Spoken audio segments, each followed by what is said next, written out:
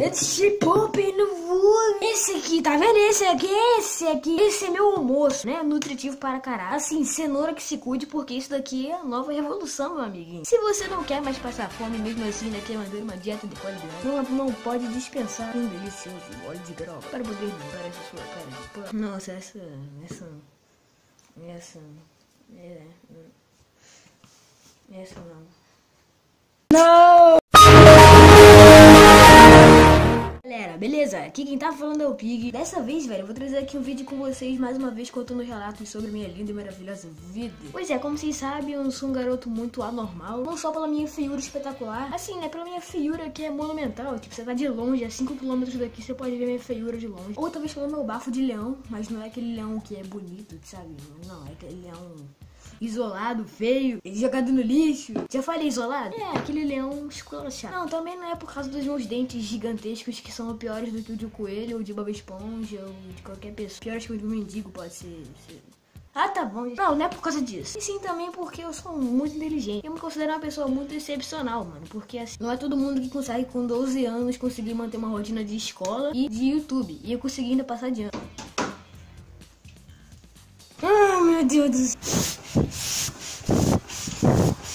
Eu tenho muito problema. Fala galera, beleza? Aqui quem tá falando é o Pig. Dessa vez, finalmente começando o vídeo. E dessa vez, velho, eu vou fazer um vídeo falando sobre final de ano.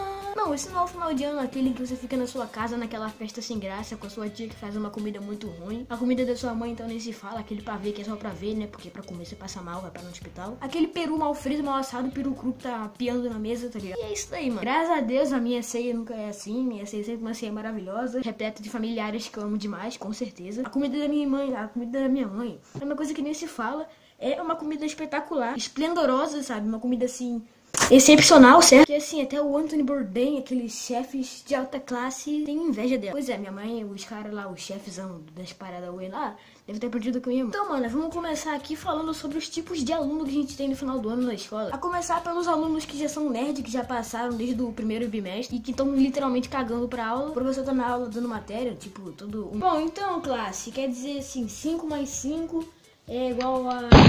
Tá legal, pivetes? Quem foi que tá com isso na minha cabeça? Então, já que eu passei de ano, né? Eu já vou logo pra Disney. Maneiro também, já tô indo lá, mano. Já até reservei desde o começo do ano, já, porque ia passar. Nossa, eu também, eu vou lá ver o Mickey. Nossa, é muito top, né, tio? Ó, oh, tô dando aula aqui, mano. Vocês não estão vendo, não? E disse alguma coisa ali? Ah, deve estar tá falando de matéria, mas a gente já passou de ano, então.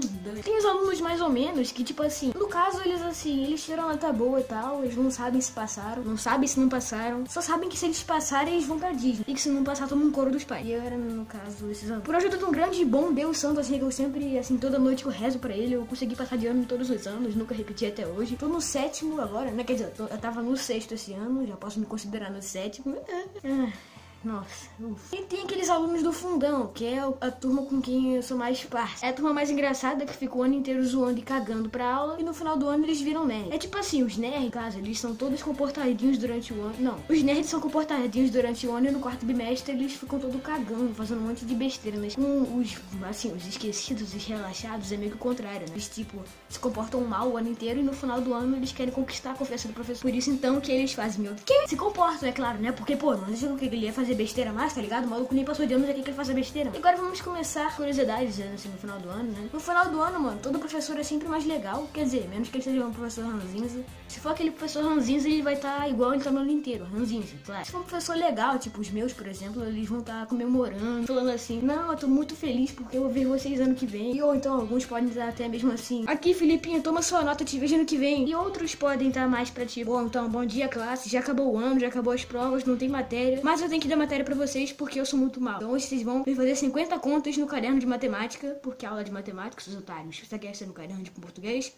Pois é, sempre tem diversos tipos de professor. Sem falar também nas tiazinhas, mano. As tiazinhas são as mais legais. As tiazinhas são as mais legais porque elas o ano inteiro são zoeiras, tá ligado? Fazem vista grossa e tudo mais. Claro que sempre tem as tiazinhas chatas, que são as que deduram mais. A maioria delas são legais e que não fazem nada no deduro. Então é isso aí. Enfim, mano, esse daí foi um vídeo realmente pra vocês tenham gostado. Eu sei que eu prometi pra vocês, cara, que eu ia trazer um vídeo todo dia. Só que tá muito puxado pra mim trazer um vídeo todo dia, então eu vou trazer de dois em dois dias mesmo. Não esqueça de me seguir nas minhas redes sociais, meu Twitter, meu Instagram, meu Facebook. Eu sempre aviso quando sai vídeo novo novo lá. Então se a gente chegar em 10 curtidas até o final dessa semana, eu faço um sorteio de uma intro animada de Minecraft. Tô zoando, óbvio, né? Tipo, não sei nem fazer intro normal, que é fazer de Minecraft. Meu Snapchat, que eu não entro muito lá, já falei, eu uso mais pra vocês poderem me enviar vídeos e tudo mais. E meu musical like, eu tô postando musical like quase todo dia. Tipo assim, de vez em quando eu me esqueço, porque não dá tempo de gravar musical like, mas eu tô tentando botar todo dia lá. Mas é isso daí, falou! Não sai daí que eu vou recarregar aqui minha arma pra poder atirar na câmera, porque agora eu vou fazer isso todo vídeo.